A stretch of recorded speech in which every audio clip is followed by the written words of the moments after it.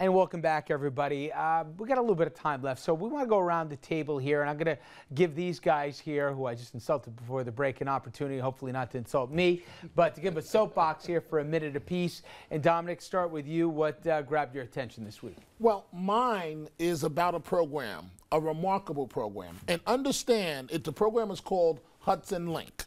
And this is not from the perspective of a bleeding heart liberal, but this is a remarkable program that is educating prison inmates, getting them college degrees. I saw the documentary, I just had to set this up. And a seasoned journalist, what did I do watching the documentary? Boo hoo hoo. So here's my point. After seeing the documentary, it's titled 0%. I'm telling you, society cannot afford to pass on programs like Hudson Link. Hudson Link is a college education program that's run inside the Sing Sing Correctional Facility. One professor in the film said that education is not just a gift for them, referring to the inmates, that it's a gift for society. This sounds like a public relations line, that is, until you actually see this documentary. Why is it titled 0%?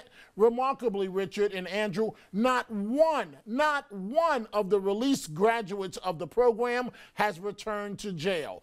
Contrast that with a national 60% chance of returning to jail within just three years. Now, as Hudson Link says on its website, it costs an average of $51,000 per year to keep one person incarcerated, locked up. And for every year that Hudson Link 64 released graduates stay out of prison, New York State saves that is, saves $3.3 million.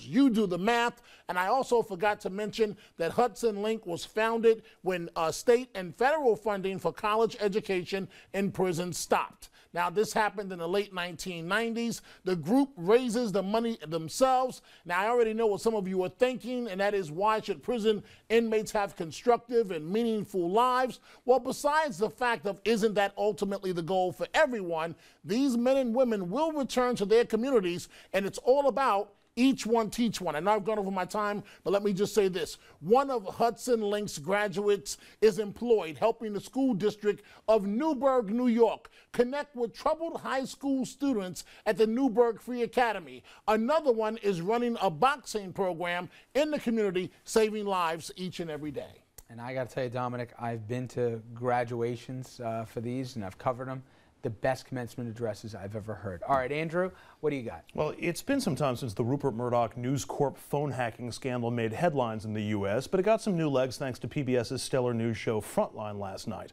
The takeaway goes far beyond just hacking cell phones. It speaks to government and even police influence. Rupert Murdoch and News Corp own so many newspapers and TV networks in the UK that a former Murdoch editor, Sir Harry Evans, said the government was so afraid of Rupert Murdoch he could do anything. Why should I care, you might ask? That's Britain. This is the U.S. Well, this is the U.S. where News Corp owns 27 TV stations, Fox and Fox News, The Wall Street Journal and The New York Post, DirecTV, HarperCollins Publishing, and much more. Or take Comcast, which owns NBC, Universal, Hulu, three cable networks, and more. And the list goes on and on. Disney, CBS, Time Warner. Don't forget Clear Channel. They have a monopoly of 850 radio stations.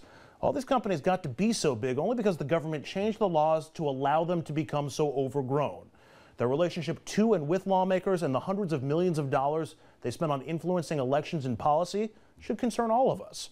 Are we really getting impartial and penetrating coverage of our lawmakers? Just how much influence do they have in our politics and our government?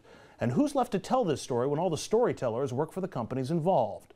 Right now, we're left to just cross our fingers and hope that they're helping, just like News Corp did in the UK. Rich? Dun dun dun dun. Serious? Uh, you got me thinking here, Andrew. I'm a little nervous. All right.